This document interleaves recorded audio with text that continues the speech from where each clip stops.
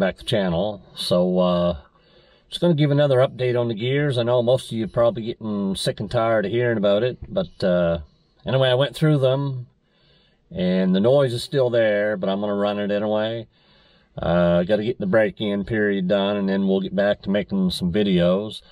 Now, the reason, I did find out the reason why it's making noise. The pattern's good, the bearings, the bearing preload's good on both the carrier and the, the pinion.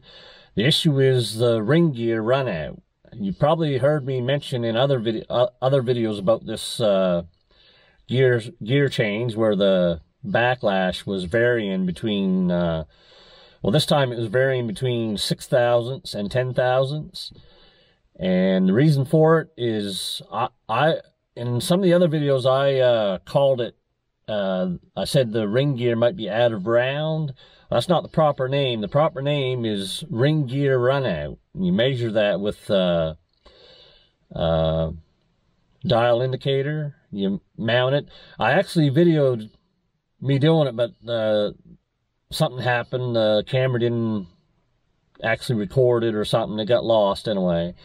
But anyway, all you got to do is go on YouTube and and uh, type in ring gear run out, and you'll see how to measure it. Anyway, from what I've been able to find on the internet, uh, anything over two thousandths is too much. I seen one guy's video where he said uh, when a customer brings in their ring and pinion and the carrier, he measures both the carrier and the ring the ring gear, and if it's if it's more than two thousandths out, he he won't install them because he said there's no way to keep them from making noise. So I'm thinking that's what's going on with mine. It's the run out was uh, I think it was around five thousandths run out. So that's way more than two. And so I don't think, it doesn't matter how I install these gears, they're just going to be noisy no matter what. If you decide to install gears yourself, is make sure that's the, that should be about the first thing you check is the run out. If it's, if there's too much run out, in my opinion, the best thing to do, if the run out's over two thousandths, send it right back to the manufacturer that you bought it from. But anyway, a new plan for me is I'm going to break these in. And when I get the break-in miles on it, change the fluid.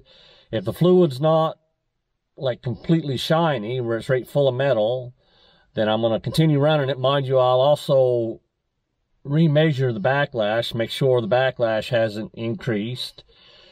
And after that, I'm just going to run it. And then the new plan for next winter is I'm going to pull this all out again and I'm going to get, uh, well, first thing I'll do is pull the ring and pinion off and measure the run out of the carrier to make sure it's not messed up.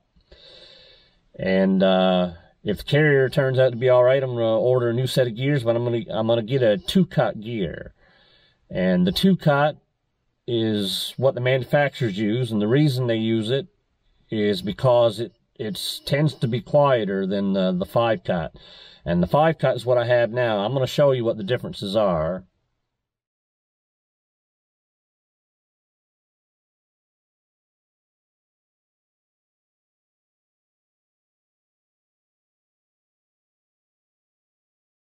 Okay, guys, so here we here we get the Richmond five cut gear, and this is the original GM 323 gears that are the two cut. So on the five cut, when you look at the teeth, this is the toe, this is the heel. And you'll notice the toe is slightly shorter than the heel. And that's that's the five cut gear.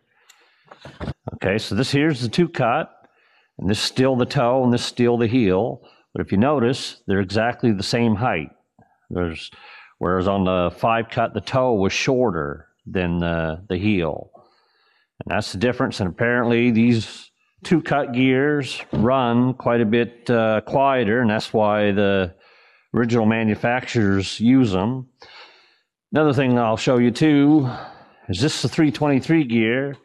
Look how much thicker the 390 gear is because it has to get in there because the pinion gear is much smaller. This is the 323 versus the 390s quite a difference in size.